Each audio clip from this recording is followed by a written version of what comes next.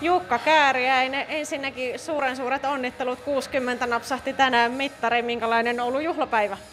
No tällainen aivan normaali pelipäivän tuntunut, että ei tässä ole mitään, mitään sen erikoisempaa, että aivan menty tälleen niin kuin aika normaalisti. Että Mitä kuuluu huoltajan eli sinun normaaliin työpäivään? No, aamulla tullaan tänne aika tuohon kahdeksan maissa ja keitellään pelaajille kahvit siinä ja pojat tulee sitten, terotellaan luistimia.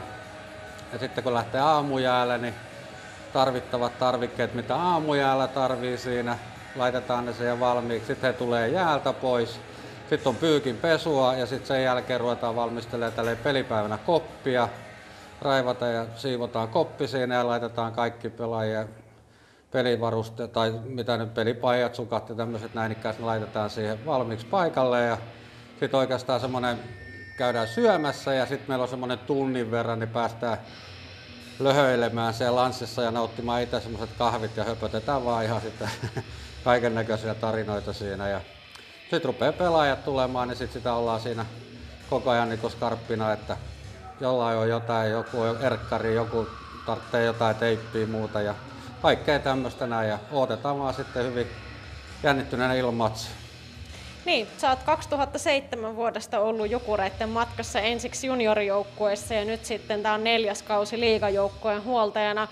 Mikä sinut aikanaan toi jääkiekon matkaa? No mun oma poika rupesi pelaamaan jääkiekkoa ja sitten vanhempana kuljetteli häntä, kun me asutaan tuossa Otavassa, se on semmoinen tähän jäähallille suurin piirtein noin 10 kilometriä, niin sit sieltä aina toin sitten poikaa tänne ja sitten loppujen lopuksi sitä huomasinkin, kun siinä sitten kaverit sanoi, että jos sua kiinnostaisi tämmöinen, niin voisit säkin tulla tänne polville ja solmimaan näitä luistimia. Mä sanoin, että eihän siinä mitään ja siitä se sitten vaan lähti ja seuraavana vuonna sitten oltiin jo sitten siinä, niin vähän niin otettiin huoltokamoja, mitä nyt pienet juniorit tarvisi siinä, niin herättiin mukaan ja käytiin noilla pelireissut, oltiin tuolla ja muuta ja siitä se sitten vaan kipinä urgeni ja sitten oma poika lopetti tuossa, kun hän loukkaantui tuota, noin lopetti siinä, niin sitten tuli tuota, niin Pantsari Vesku, silloin C2 alemman SM valmentaja, niin soitteli, että tuu, tuu Juki, että tuu, tuu Jukka mukaan, että tuota, me tarvittaisiin huoltajaa tähän.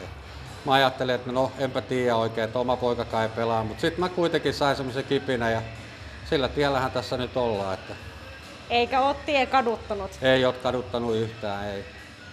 Mitä, mikä sinua täällä kiehtoo, että olet vuodesta toiseen ollut mukana? Mikä siinä huoltajan hommassa tässä porukassa on, että saa palaamaan aina hallille? No siinä yksi oli silloin, kun tuota, muistelin näitä, tai silloin kun ajatteltiin näitä, niin itsekin tuota, niin en ole jääkiekkoa, mutta jalkapalloa pelanneena, niin jotenkin tuli niinku se, kun siihen meni siihen, niinku, vaikka oli pikkupoikia ja sitten oli isompia poikia ja nyt oli jo aikuisia miehiä, niin siinä on vaan joku semmoinen fiilis siinä, kun menee siihen koppiin ja muuta. Ja, se on, ja sitten muutenkin, sitten, niin kuin tälläkin hetkellä ajatellaan meillä tuossa noinikkaasti kaikkien pelaajien kanssa, niin älyttömän hyvä henki on ja silleen, että sä, sä oot niin ihan tuommoisen parikymppisen kaverin, niin se voi tulla tuolla sanoa, että moi mitä kuuluu, että ollaan niin hyviä kavereita keskenämme siellä.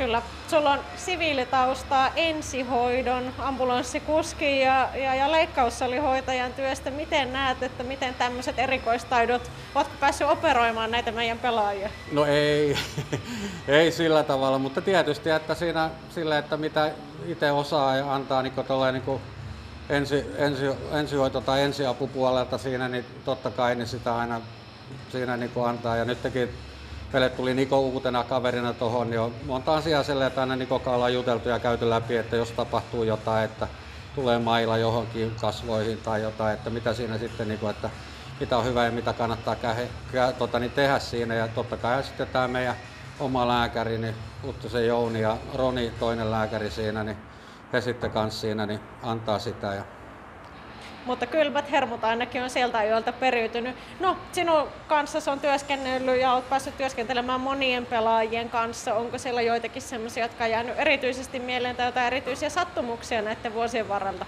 No, mä en tiedä nyt sattumuksia, mutta tota, niin yksi on semmoinen kaveri, voisi sanoa tuossa Kokkosen Mikko.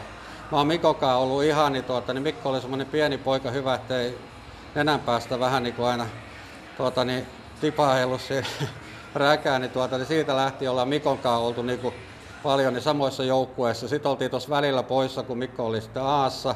Ja nyt taas sitten niin tässä siinä, meniköhän se nyt joku kolme, kolme neljä vuotta, että sille, että vaan nähtiin aina tässä. Ja sitten tuota noin, niin nyt kun tuli edustukseen, niin nyt tämä meidän yhteistyö taas jatkuu täällä. Että hän on oikeastaan semmoinen, mä muistan Mikko aina siitä, kun oltiin silloin junioriaikoina, niin Mikko oli siitä, niin tuota, kun luistimen terotus tuli, niin meillä oli yksi toinen huoltaja oli kans siinä, niin se sitten rupesi terottaa, niin Mikko sanoi, että et terota mun luistimet, että Jukka terottaa ainoastaan mun luistimet.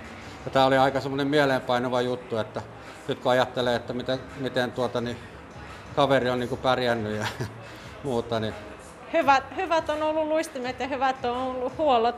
Nyt ei muuta kuin Jukka oikein paljon onnea vielä kerran ja kohta nähdään sinun kukituksesi tuossa jäällä ja kovaa duunia tänään, eikö vaan? Kyllä, kovaa duunia tänään ja kovaa, mutta hyvää ja hineetä duunia. Kyllä, hyvä, kiitos Joo, paljon. Kiitoksia.